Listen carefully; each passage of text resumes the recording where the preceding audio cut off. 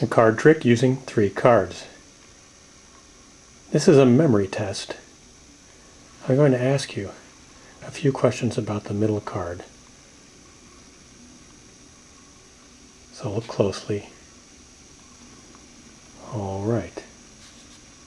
Now pick the middle card without peeking. Tell me, was it a number or a letter? Was it red or black? Was it a heart or a diamond? Let's see how you did.